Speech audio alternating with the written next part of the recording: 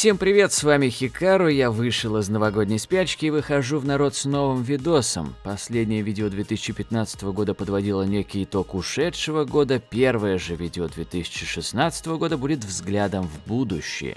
А именно списком самых крупных, самых ожидаемых игр, выходящих в новом 2016 году. Поехали! Начнем прямо по календарю с игр, даты выхода которых уже четко определены. Список открывает XCOM 2, продолжение тактической стратегии XCOM Enemy Unknown 2012 года, которая в свою очередь была ремейком игры XCOM аж 93 года выпуска. XCOM 2 выйдет 5 февраля и предложит нам побыть в шкуре лидера секретной организации XCOM, ведущей повстанческую борьбу с ни много ни мало инопланетной расой, оккупировавшей нашу любимую планету Земля. Продолжаем. Пока мы тут у себя 23 февраля будем отмечать День защитника Отечества, выйдет Far Cry Primal. По нему я сделал целый видос, поэтому разглагольствовать особо не буду.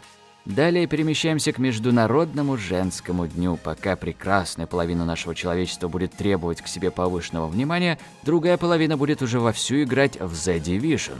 Многострадальный многопользовательский шутер в открытом мире от Ubisoft. Почему многострадальный? Потому что анонсирован он был очень давно, анонс всех поразил до глубины души, и после этого игра пропала, просто пропала. И тут она вернулась, и все такие, ну, окей, выйдет и выйдет.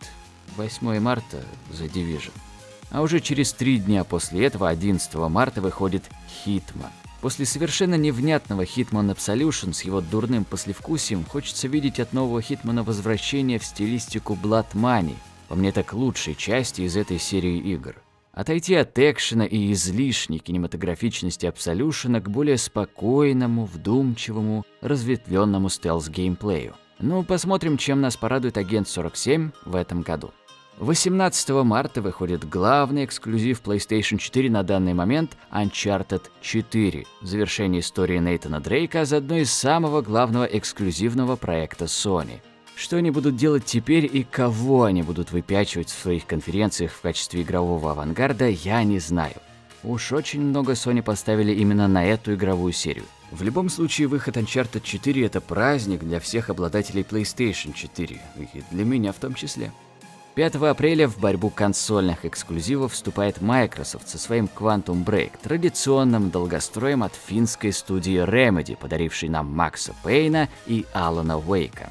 Поговаривают, что Quantum Break в конце концов может появиться и на ПК.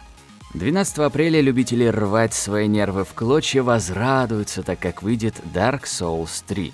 Продолжение уже ставшей культовой серии игр, возвращающей игроков в беспощадный, мрачный, но в то же время такой притягательный мир темных душ. 24 мая выходит Mirror's Edge 2, продолжение игры, которая, будучи совершенно скудной с геймплейной и сюжетной точки зрения, все же захватила сердца и умы многих игроков. Во второй части ждем уже хорошего сюжета и разнообразного геймплея. Далее календарь релизов переносит нас аж в конец лета, к 23 августа, к выходу Deus Ex Mankind Divided. Кто хотя бы изредка посещает мои стримы, знает, что я к первой части, к Deus Ex Human Revolution, мягко говоря, неравнодушен.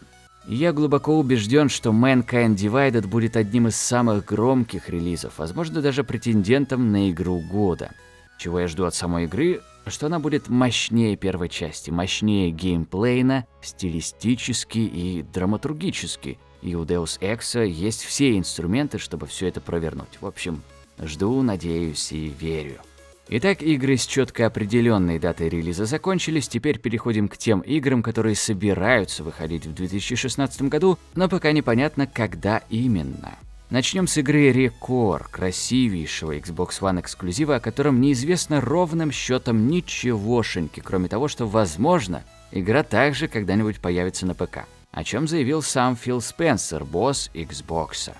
No Man's Sky – долгостройный эксклюзив от Sony, о котором также толком ничего не известно. Кроме того, что в игре будет бесконечная генерируемая вселенная, которую предстоит исследовать самому игроку. Horizon Zero Dawn – еще один эксклюзив от Sony, об этой игре известно уже чуть больше, это экшен в открытом мире в сеттинге постапокалипсиса с роботизированными динозаврами. Ну, по крайней мере, выглядит красиво. Мафия 3, о которой я тоже делал видео со своими опасениями по игре, также не обзавелась датой выхода, но надеемся, что выйдет именно в 2016 году. А не то игра рискует опоздать в технологическом плане. Mass Effect Andromeda. Опять же, кто посещает мои стримы, знает, что Mass Effect я просто обожаю и жду новую часть с большим нетерпением. Другое дело, что по Андромеде пока что неизвестно ровным счетом ничегошеньки. Только скупые трейлеры пытаются пролить свет на игру, но этого явно недостаточно для проекта такого масштаба. Естественно, более развернутая информация по играм и даты их выхода будут поступать в течение года. Большинство этой информации традиционно мы получим на выставке E3 в июне. Там же мы без сомнения увидим анонсы совершенно новых игр, как то Battlefield 5, которая должна таки подоспеть именно в этом году. Также 2016 год не обойдется и без новой Call of Duty, которую на этот раз разрабатывают Infinity Ward, и пока непонятна ситуация с новой частью Assassin's Creed. Ведь ходят слухи, что следующую часть мы можем ждать лишь в 2017 году, а место Assassin's Creed в этом году займет не что иное, как Watch Dogs 2. Вроде все основное обговорил. Подписывайтесь на канал, если вы тут впервые будете в курсе основных событий игровой индустрии. Ставьте лайки, дизлайки, комментируйте видео, я читаю все комментарии. У микрофона с вами, как всегда, был я, Хикаро. Удачи вам, любви и терпения. Все пока. Пока.